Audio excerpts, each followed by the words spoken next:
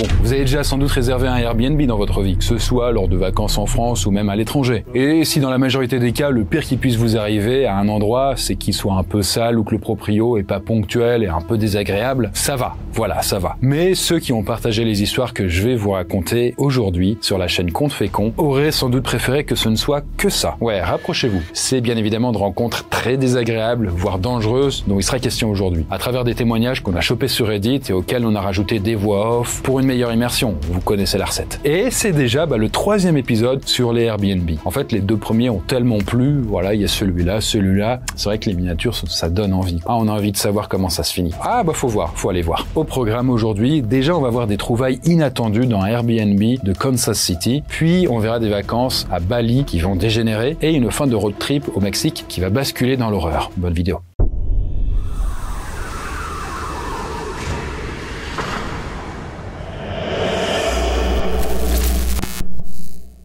Bon, pour cette première histoire, on remonte au début des années 2020 avec l'histoire d'Emotional Mothman. C'est son surnom, voilà, on ne juge pas, on l'a renommé Darius, voilà, pour info. Et Darius, lui, il nous replante le décor avec ses frangins, son copain et son meilleur ami. Il prévoit un petit voyage à Kansas City pour assister au concert d'Orville Peck et donc un chanteur de country. Là, ils ont réservé un Airbnb sur place, mais ils s'y sont pris vraiment au dernier moment, quoi. Et Darius nous dit qu'il en a trouvé un juste à l'extérieur de Kansas City, dans une banlieue appelée Grandview, à un prix assez raisonnable.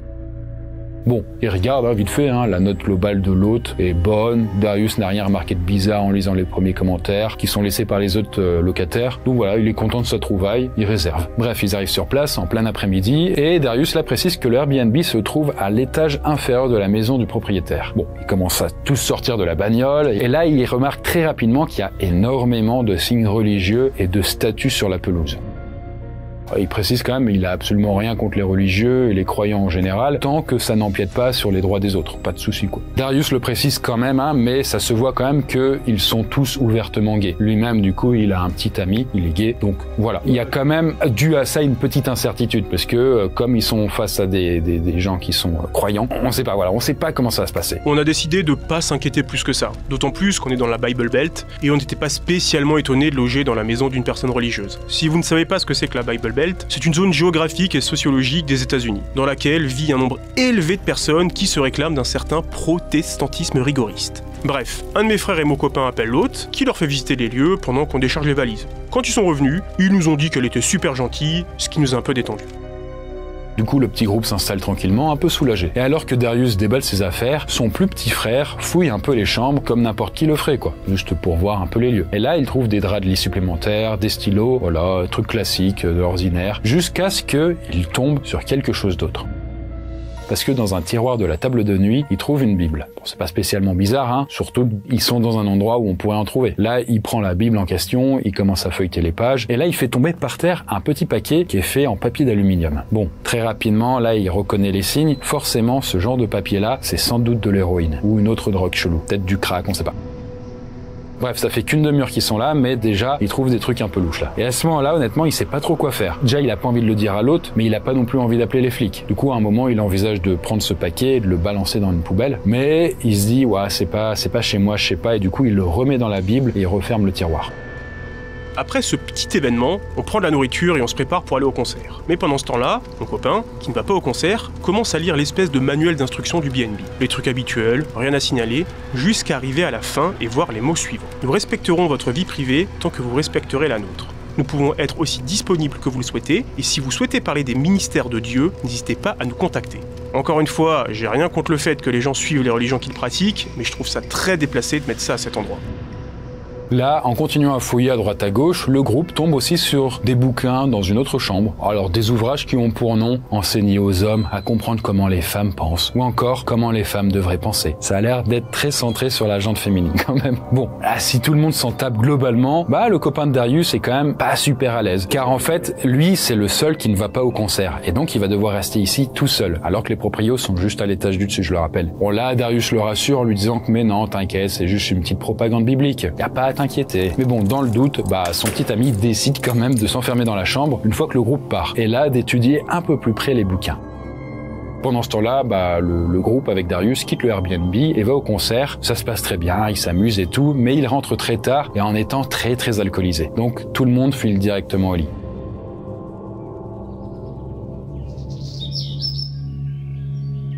Voilà, au petit matin, la discussion reprend. Et là, bah, Darius déjà se rend compte que tous les bouquins qu'ils ont trouvés ici sont associés à un groupe appelé IHOPKC, qui est l'acronyme en fait de International House of Prayer Kansas City, et qui est en fait une importante secte religieuse qui a été fondée à Kansas City, et dont la majorité des membres vivent dans la banlieue de Grandview, c'est-à-dire là où ils sont.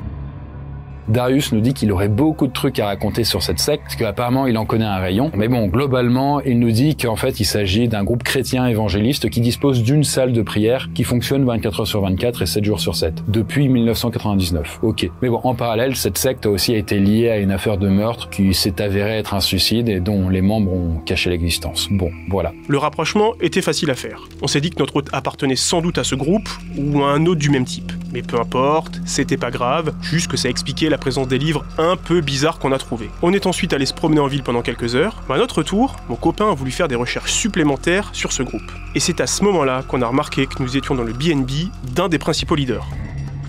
On a découvert ça en recoupant les noms de nos hôtes avec le nom des membres importants sur le site de l'IOPU, l'International House of Prayer University. Suite à ça, ça leur a mis un peu l'eau à la bouche, on va dire, et ils se disent tiens, on va encore fouiller plus le Airbnb pour voir si on trouve d'autres trucs. Et du coup, bah, en cherchant, ils trouvent des grands barils de nourriture séchée, mais aussi une cruche qui contient un liquide dont ils ont appris plus tard qu'il s'agissait de ce que buvaient les membres de la secte pendant leur jeûne, ainsi que beaucoup d'autres bouquins sur l'enseignement religieux. Bon, Darius nous le dit, mais c'est comme si ces mecs-là, ces, religieux sectaires-là, se préparaient à la fin des temps. Un truc du style. Bon, là, dans le doute, Darius retourne sur le site Airbnb et il se met à éplucher un peu plus en profondeur les commentaires. Et là, en regardant plus en détail, il trouve des trucs. Déjà, un des commentaires indique par exemple que les propriétaires ont sorti une arme à feu devant les personnes qui louaient le logement, sans donner plus de contexte. Bon, à partir de là, Darius, avec son groupe, ont essayé de passer le plus de temps possible loin du Airbnb jusqu'à la fin de leur séjour, même s'ils n'ont jamais été en danger direct. En fait, ils se sentaient vraiment très mal à l'aise. D'ailleurs, il termine en disant que la découverte de la drogue a été le premier point de bascule. D'ailleurs, en échangeant avec les personnes dans les commentaires de son poste, il se demande si c'était pas une sorte de piège qu'on lui avait tendu. On ne sait pas pourquoi et qu'est-ce que ça redonnait. Mais bon, quoi qu'il en soit, il dit qu'à l'avenir, bah, il fera quand même un peu plus attention et regardera un peu plus les commentaires avant de réserver un BNB sur l'application. Bon, en tout cas pour notre prochaine histoire, là il sera pas juste question d'une simple crainte, mais plus d'un véritable danger.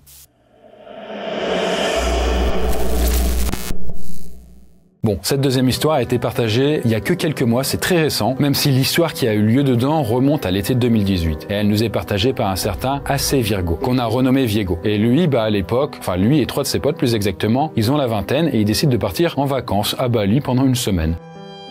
Alors pourquoi là-bas? Bah euh, parce que bah, c'est pas très cher quoi. En tout cas au programme pour eux, ça va être des visites touristiques, dégustation de plats locaux, escalade et bar sur la plage. En gros, de ses propres mots, des vacances typiques en Indonésie. Là, Viego nous le dit, mais son voyage est une expérience surréaliste. Le pays est absolument magnifique, la nourriture est incroyable, mais le seul problème, et ça c'est de taille pour lui, et ça concerne certains habitants qu'il a pu rencontrer. En fait, il nous dit que la drogue est quand même très présente sur place, et en particulier les champignons les rues sont remplies de drogués qui meurent d'envie de nous vendre leur drogue. Et j'exagère pas du tout en disant ça. Un type m'a même attrapé le bras parce que j'avais ignoré son offre 2 pour 1, qui ressemblait pour moi à un aller simple direction Jésus. Je l'ai repoussé d'un haussement d'épaule, tandis que mes amis se moquaient de moi en suggérant que je laissais peut-être passer une chance de rencontrer notre Seigneur et Sauveur. En tout cas, le mec avait l'air enragé, en transe, comme s'il était sur le point de se jeter sur moi. Là, Viego le dit, en fait, il n'avait pas spécialement peur, car en fait, il se dit qu'il était sûr de pouvoir maîtriser ces, ces types-là hein, avec ses potes s'il y avait un truc qui dérapait. Surtout vu l'état dans lequel ils étaient, quoi. C'était un peu des locs. Mais ça, ce n'était que la partie émergée de l'iceberg. Car en fait, l'horreur, pour le groupe de potes, ça commence un soir lorsqu'ils retournent à leur Airbnb. Là, Viego nous l'explique, mais leur logement est vraiment beau marché quoi. Il a pas de serrure, il a aucun mécanisme de verrouillage adéquat pour la porte en fait. Ils peuvent pas vraiment fermer pour la nuit, donc euh, grosso modo, ça la joue à la confiance quoi. En fait, concrètement, la porte d'entrée c'est juste deux espèces de battants en bois. Le seul moyen de fermer cette porte qui s'ouvre vers l'intérieur, c'est avec une sorte de gros bloc de bois qu'on peut faire glisser devant l'entrée, et donc ça bloque un peu la porte quoi. Voilà, un truc un peu primitif, euh, mais ça fait le taf. Car en réalité, il n'y a pas vraiment besoin de s'inquiéter en théorie. D'ailleurs, en réalité, pour eux, tout s'est bien passé. Enfin, tout ça jusqu'à la dernière nuit. Bon là, quand il rentre ce soir-là, déjà le bloc de bois a tout simplement disparu. Du coup, en fait, il n'y a plus de moyen de pouvoir fermer la porte correctement. Là, le petit groupe alors commence à chercher un peu partout, mais en vain. Là, Viego se dit alors qu'un des mecs a sans doute dû le poser quelque part, et peut-être qu'il a oublié quoi. Du coup, il décide de remplacer ce bout de bois par la perche à selfie qu'ils ont. Du coup, c'est un peu débile parce que vous imaginez bien entre un gros bout de bois et une perche à selfie, c'est pas du tout pareil. La perche à selfie, ça fait peut-être un kilo. En gros, tu pousses la porte, elle tombe quoi. Mais bon, ils avaient rien de mieux quoi. On va se coucher, honnêtement, assez serein, vu qu'on a déjà passé 6 jours ici sans le moindre problème. Bref, je m'endors, mais en plein milieu de la nuit, je me réveille d'un coup, et je comprends que à cause d'un bruit. Je me lève en pensant que c'est un des autres gars et je cherche à comprendre d'où vient le bruit. Je remarque à ce moment-là que tous mes potes dorment et que ça ne vient pas d'eux. Donc je cherche à en savoir plus. Je comprends alors que le bruit vient de la porte, ce qui me semble vraiment bizarre, mais je décide d'aller voir. Là, Viego se demande ce qui se passe exactement et qui peut être là, en plein milieu de la nuit. D'ailleurs, il remarque aussi que les deux battants de la porte sont légèrement ouverts et que bah, leur perche à selfie est complètement déformée, comme si elle avait pris un coup. Bon là, Viego jette un petit coup d'œil rapide à l'extérieur et il voit trois personnes qui sont en train de le fixer par l'entrebâillement des portes. Et là, il comprend alors que ces types sont sans doute en train de forcer l'entrée, enfin entre guillemets parce qu'il n'y a rien à forcer, pour essayer de pénétrer dans leur logement. Là, Viego par réflexe leur crie dessus, mais en même temps, il remarque que l'un des trois mecs a le fameux bout de bois qui leur sert normalement à fermer la porte et qui avait disparu justement pendant la journée. Du coup là, Viego est dans un mélange d'émotions différentes. Il est choqué et intrigué aussi par la situation. D'ailleurs, il reconnaît l'un des trois hommes qui s'occupe du nettoyage des Airbnb dans la journée, depuis qu'ils sont arrivés. Donc en fait, concrètement, à cette heure-là de la nuit, il n'y a aucune raison qu'ils soient là. En tout cas, un autre des trois hommes demande alors à Viego si le bout de bois est à eux, car ils viennent de le trouver dehors. Alors là, pour lui, c'est quand même un peu, euh, un peu trop tiré par les cheveux. Là, il appelle alors ses potes à la rescousse qui se réveillent, et ce qui fait directement fuir bah, ces trois mecs de l'autre côté. Là, il leur explique alors rapidement ce qui vient de se passer et donc ils décident tous de terminer la nuit éveillés au cas où ces mecs reviennent. Bon, en tout cas, au petit matin, Viego décide d'aller faire un rapport à la réception qui gère les Airbnb. Sauf que quand il parle de ces trois mecs, ben, l'employé, là, derrière le comptoir, il comprend pas trop. Il dit, non, on connaît pas ces gens. D'ailleurs, pire que ça, ben, l'employé lui dit que, en fait, ici, il n'emploie que des femmes pour tout ce qui concerne le ménage. Bon, à partir de là, Viego et ses potes, ils se regardent, ils sont hyper mal à l'aise, et là ils réalisent en fait que ce type, l'un des trois mecs en fait, il avait fait des allers-retours chez eux pendant toute la semaine, alors qu'ils pensaient qu'il faisait le ménage, mais pas du tout. Bon, Viego termine son récit en disant qu'heureusement, rien ne leur a été volé durant leur séjour et qu'au final, ben, ils sont repartis sans encombre. D'ailleurs, il nous dit aussi qu'il veut pas imaginer ce qui se serait passé si cette nuit-là, les bruits ne les avaient pas réveillés et que ces types étaient rentrés. Alors peut-être qu'ils venaient là pour essayer de voler des affaires pendant leur sommeil, qu'ils auraient peut-être emporté durant la journée, on sait pas, peut-être leurs affaires de valeur, ils les laissent pas dans un tel endroit, ou peut-être pas et qu'ils avaient d'autres attentions, ces mecs-là, on sait pas.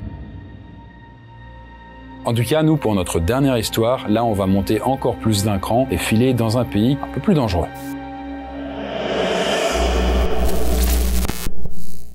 Alors, cette dernière histoire, elle est racontée par Hello Mathen, et ça remonte à la fin des années 2010. Et il précise d'ailleurs qu'il va garder certains détails un peu flous, car en fait, il ne voudrait pas que les autres, en se baladant sur Reddit, bah, sachent qu'il l'a partagé. Il est vraiment pas confiant, quoi. Bon, en tout cas, il plante le décor. À l'époque, il est parti un an au Mexique pour étudier. Mais entre deux semestres, bah, il avait un peu de temps à tuer. Là, un de ses potes, qu'on va appeler Warwick, parce qu'il le nomme pas directement, bah, décide de faire un petit road trip avec lui dans le pays. Voilà, ils font leur truc et tout, c'est génial, c'est ouf. Et quelques jours avant la fin de leur voyage, ils décident de prendre un dernier Airbnb près de l'aéroport d'où ils partiront le lendemain. Et là, ils trouvent un logement avec une piscine dans la maison d'un couple formé d'un Mexicain et d'une femme européenne. Là, Hello et son pote arrivent sur place et prennent un bus en direction du Airbnb. Mais après une petite incompréhension, bah, ils se retrouvent déposés au bord de l'autoroute pour une question d'itinéraire un peu foireux. Ce qui fait que là, bah, ils sont au beau milieu de la nuit, la situation est merdique et Hello décide alors de contacter les autres dans l'espoir que peut-être ils puissent venir les récupérer. Mais heureusement, leurs hôtes sont quand même sympas et ils viennent le faire. Alors c'est le mari qui vient directement chercher Hello et Warwick et tout de suite ils le disent, mais ils sont pas super à l'aise. En fait, le type, le mari, il ressemble un peu à Danny Trejo. Vous voyez ce mec là, du coup cet acteur. Euh, c'est vrai que ça fait très mexicain quoi. Sauf que là, il a pas de moustache et il ne parle presque pas. Bon, déjà là, avec le recul, il se dit déjà qu'il y avait potentiellement des red flags dès ce moment-là. Mais bon, ils sont quand même claqués, ils sont épuisés et surtout, ils ont aucune autre solution à part dormir là comme des chiens sur l'herbe. Donc, euh, bah, ils vont rentrer dans le Airbnb, quoi. Ils l'ont payé. Bref, après quelques minutes, ils traversent des champs avec des moutons et des chèvres, puis ils empruntent une route pavée avec plein de gravier autour, avant de déboucher sur un endroit avec six énormes manoirs, entourés de murs de 2 mètres avec des barbelés. Lorsqu'on arrive dans la maison, on est accueilli par l'épouse, une femme pétillante, d'âge moyen, très bavarde, mais agréable. Elle a préparé le dîner pour nous et nous avons mangé en échangeant quelques mots. Le mari est resté assis à table sans dire un mot. Après le dîner, nous sommes allés au lit parce qu'il était tard et qu'on était fatigué de notre journée. En se réveillant, on se rend compte que la météo est à chier et on fait donc un petit tour en ville plutôt que de profiter de la piscine. Et quand on rentre, c'est déjà la nuit. On décide quand même d'aller un peu dans la piscine car il fait très chaud et humide. Là, la femme les rejoint après quelques temps. Et là, ben, Warwick, donc le pote de Hello, commet l'erreur, on va dire, façon de parler, de demander à la femme comment elle et son mari ont pu s'offrir une maison comme ça. Et là, bah, cette dernière lui explique qu'en fait, son mari, qui a grandi dans la rue, a rapidement appris à bricoler et qu'au fur et à mesure, bah, il a pratiquement construit leur maison tout seul. Vraiment une belle et grande maison. Vraiment très très grande. Là, Hello comprend que la discussion devient quand même glissante et il préfère changer de sujet. Bon, là, la soirée continue et les deux potes ont pour projet de fumer le reste d'herbe qu'ils ont. Mais comme leur Airbnb est rattaché à la maison familiale où il y a des enfants, ils préfèrent quand même demander à leur hôte si c'est ok. Et là, alors qu'ils demandent à la femme bah, s'ils peuvent fumer sur la terrasse, elle explose de rire. Puis elle demande alors à son mari Mon amour, les garçons demandent s'ils peuvent fumer de l'herbe, qu'est-ce que tu en penses? Ce à quoi le mari, qui de base ne parle pas du tout, bah il éclate de rire sans leur répondre. Ce qui fait que bah du coup bah Hello et Warwick sont un peu paumés. Mais là bon bah la femme euh, les voyant bah justement un peu désemparés, elle leur dit non mais c'est bon allez-y y a pas de problème. Et là au bout de quelques minutes le couple les rejoint sur la terrasse. Et c'est à partir de ce moment-là que ça part un peu en couille. Là le couple a commencé alors à leur poser beaucoup de questions sur l'herbe. Où est-ce que les garçons l'ont acheté? Combien ça leur a coûté? À qui ils ont acheté ça? Combien ils auraient payé s'ils avaient acheté la même quantité en Europe, etc. Quoi. Bref, la femme et l'homme ont l'air vraiment très intéressés jusqu'au moment où la femme sort sans qu'elle et son mari pensaient à faire de ce business leur principale source de revenus. Mais voilà, en fait, bah, trop de gens meurent à cause de ça et les cartels n'aiment pas trop qu'on se mêle de leurs affaires. Avant d'ajouter très calmement que son mari, bah, il a déjà tué à cause de la drogue. À ce moment-là, je retombe d'un coup, comme si j'avais dégrisé en deux secondes de ce que j'avais fumé. Son mari enchaîne directement avec un truc du genre euh, Oui, quand j'avais 16 ans, j'ai tué beaucoup de gens pour le cartel, pour de l'argent. À ce moment-là, j'envoie un SMS à mon pote Warwick qui est de l'autre côté de la table, car euh, je comprends qu'il a aussi peur que moi, et on se demande quoi faire. Finalement, vu qu'il n'y a pas de danger immédiat, on décide de rester là, et de toute façon, où voulez-vous qu'on aille euh, si on part? Sauf que les choses ne s'arrêtent pas là, et alors que les deux potes essaient de se calmer, ils sont un peu paniqués quand même, du coup, euh, sacrée nouvelle pour eux, bah, le mari rentre dans la maison et il en ressort quelques minutes plus tard avec un kilo d'herbe qu'il pose sur la table. Là, il prend ensuite et il roule un joint, mais tellement énorme que probablement ça aurait assommé Snoop Dogg. Concrètement, il devait y avoir facilement 2 ou 3 grammes d'herbe dedans, ce qui est quand même gigantesque quoi. Bon, là, les deux potes, ils se disent, mais c'est trop, euh, il y a beaucoup trop là-dedans, nous on n'y touche pas. Sauf que le Mexicain, il est un peu contrarié quoi, qu'on puisse pas toucher à son gros joint. Mais bon, ça ne va pas plus loin que ça. Le problème, c'est que quelques minutes plus tard, Hello entend deux énormes détonations, ce qui surprend un petit peu la femme, qui demande alors à son mari qu'est-ce que c'est? Et là, lui, sans sourciller, il répond juste 9 mm. Et là, Hello a son sang qui se glace parce qu'il se disait bien, ouais, c'est des coups de feu. Hein. Sauf que bah, les coups de feu, bah, ils ont continué jusqu'à ce qu'une dizaine de coups soient tirés, les uns après les autres. Bon là, la femme devient un peu nerveuse quand même. Elle suggère de rentrer, avant de demander à son mari si ces gens ils tirent sur le bétail, en l'air ou sur d'autres gens. Ce à quoi le mari euh, répond par un haussement d'épaule. Je sais pas. Bon, en tout cas, après quelques minutes interminables où tout le monde reste sur la terrasse, il y a des nouveaux coups de feu qui retentissent. Bon là, la femme devient encore moins à l'aise. Il y a vraiment une petite pression qui s'installe en disant qu'il faut vraiment rentrer et en demandant à nouveau à son mari sur qui ces gens tirent. Là, le Mexicain répond euh, de manière totalement impassible. Mais non, tout va bien, tout va bien. J'ai pas encore entendu de cri.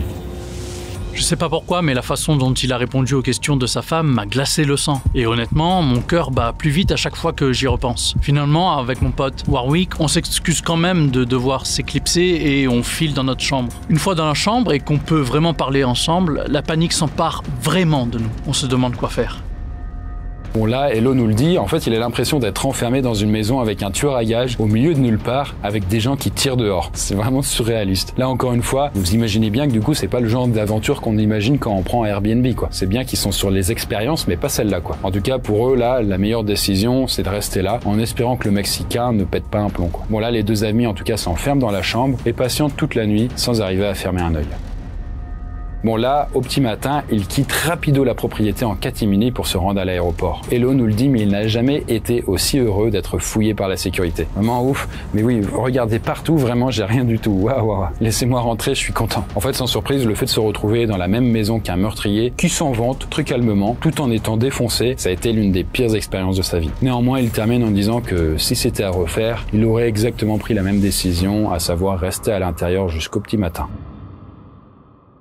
Bon, en tout cas, vous, avec les vacances qui se terminent, qu'est-ce que vous avez fait de votre été? Est-ce que vous avez pris un Airbnb justement pour pouvoir euh, vous détendre ou je ne sais quoi? Racontez-nous tout ça, on est curieux quoi. Bon, en tout cas, on vient de passer les 400 000 abonnés sur la chaîne, ça fait très plaisir. Merci beaucoup à vous pour votre soutien et puis votre suivi quoi. Moi, écoutez, justement, je, je viens de réserver il y a pas longtemps là un Airbnb du coup dans le nord de la France, en Normandie, pour pouvoir me concentrer en fait sur l'écriture de Noisuli, donc le- le bouquin en fait sur le rêve que je suis en train d'écrire, et essayer de tester en étant isolé, tranquille. Est-ce que ça peut me permettre d'avancer encore plus vite Voilà, je verrai, je verrai du coup si, si je suis aussi performant que je l'espère. Nous, on se dit à très bientôt du coup dans une nouvelle vidéo. Bye bye